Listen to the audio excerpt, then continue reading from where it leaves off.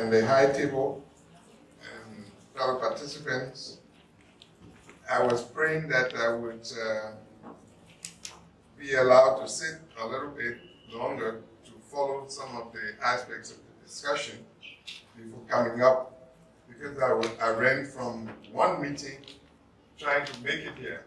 However, I guess as um, legislators in this business, we have to be ready at all times. I want to greet you warmly. I think this is my first, second time at uh, event organized by Reverend Jala and, and, and his team. And I listened to one of our erudite colleagues in the legislature when I came. And I have to say, most of what I heard since I arrived from him, I share very, very strongly. The other day, I was talking with Dr. Sawyer, and a few of us sitting around the table were lamenting that something was missing in our country. And one of those things that we said missing is, you know, men and women that are, you know, are people we go to when we have a problem. That it's beyond the court, the high court, the legislature, the, you know, people who just by their standing in society demand something. What the interfaith religious body, the interreligious council, and what we call the, what started as the interfaith council played in bringing peace to our country. These were people who did not have guns. They did not have, um, they were not lawyers, whatever. But they just stood in a place when everyone had problems. The thing that we call the, the ECOWAS peace plan came out of the thinking, the minds of Archbishop Francis, Sheikh Konneh, and the rest of the religious leaders in our country. And they brought in others, you know, academics and what have you. But there is a way that these people earn their respect, or their respect is guaranteed.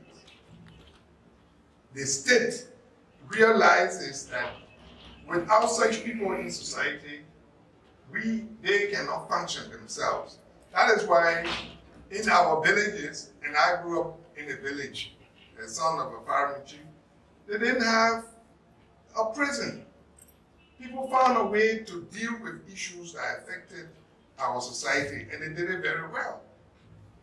And during the war, the most influential voices that came that helped us reach to the war and then consolidate the peace was the voices represented by those who were symbols of truth, symbols of justice. Something which, sad to say, appeared to be missing.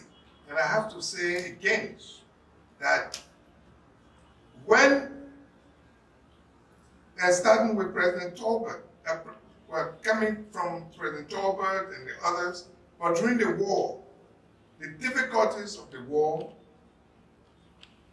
President Sawyer knew that he didn't have army in this town. So the Constitution was in trouble.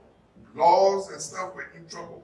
The thing he relied on most was those people, those men and women in our society that help them overcome some of the challenges that, that we're facing. It's the state that makes that stand that these people don't have guns. They cannot put anybody in jail, but the moral authority they represent must be recognized at all times. This is one step I guess we can make and we should do That is why when religious leaders, I see the president of the council of churches and the others, whenever they appear and they make a request to see President Tolbert or even Samuel Doe, or, you know, and more so, because that was my experience with Dr. Sawyer. It was very, very, it was instantaneous. When you made that request, you had an answer and you will be seen. We have to play this role, and, and I just want to piggyback very quick, quickly on some of the things my, my brother has said. Our country is in trouble. It's in trouble because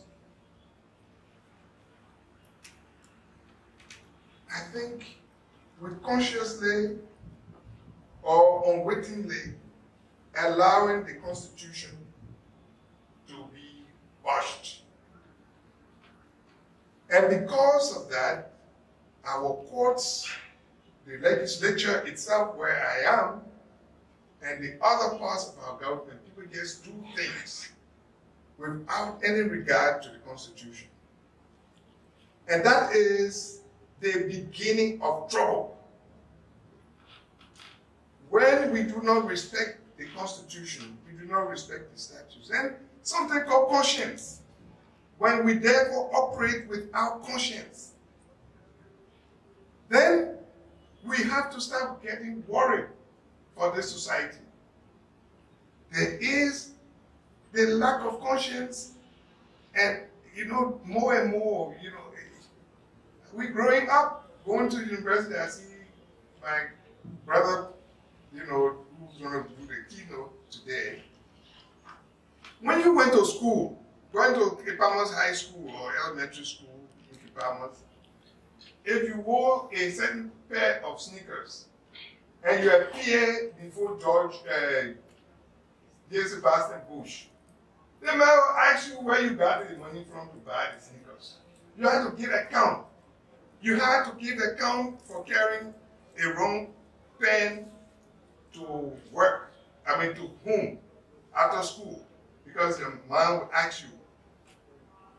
Today, without conscience, we do things. And the example is set by the state. We do things we cannot account for. A young man who was just like myself, managing to pay rent $10 rent. In few months, now got mansions. And it's so abhorrent. It makes you feel bad in your stomach. And these are the people we clap for. You know? And they tell you somebody else, or the man you know how to make life. Eh, these are the people we get, we elect. I was passing by the other day I almost vomited. A gentleman creates a university with his name. So, so and so, and university. Mm. Build it. The University of Liberia is looking for money to keep the students in. Where in the hell this man got money from besides the national budget? Are we auditing you hear our national, but this country has a lot of money available through our budget system. If you just do a little audit of our budget, you'll find the thieves that are wrecking our country. Do we have the Sheikh or uh, Bill Brunel or Archbishop Francis who will be threatened to be killed because he's able to give a sermon talking about the threat society faces. Each of us, as religious leader, I see, you know, uh, Bishop Brown. All of these people were just like us, ordinary people. Are we prepared to do that? Ellen Sirleaf, you say all that but she never celebrated birthday in this. The captain one day came to her, and I was in the meeting. They said, let's celebrate birthday. They started raise money. She said, whatever you do, you all go somewhere and find a project you want to put it on, not me. the people we hear about, the greatest leaders of the world, didn't name anything after themselves. Whether it's, it's, it's um, Muhammad, I mean, for that, they've gone the extreme. You can't see the picture of Muhammad. At least some people go around and putting a white young gentleman with nice beards as Jesus Christ. The debate continues. But Jesus Christ didn't go around doing things and naming things after himself. The law and conscience tells us that do not name things after yourself when you are in service. Too many things are of conscience that we have to think about. And I'm sorry to shout over you, sir, but I guess something got to happen to our heads. Something is wrong. We had us um, the other day, we were trying to open the uh, guy opening a, a mental uh, health center. And Dr. Gete was there. And his speech must be read again. Something is wrong with the mentality in our society.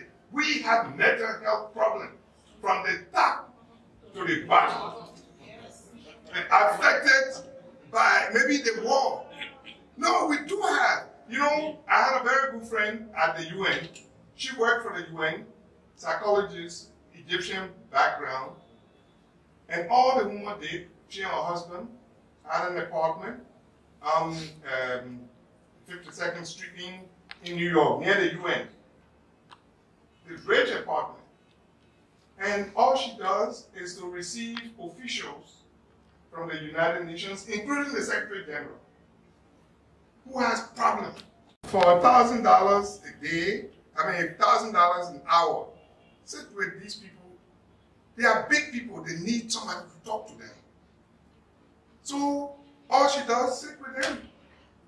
And they realize that people in certain power, certain positions of power, are affected by the combinations they have. And it's not their problem. It's the kind of thing the society put on them. So there's nothing wrong with people, especially, and that's what the religious leaders have been doing. I hope they can do it now better. To have the courage to sit with our leaders and say, Chief, the way you're taking that decision ain't right. Because they, we are under so much pressure that we can act like something wrong with our brains. Pray for us. Thank you.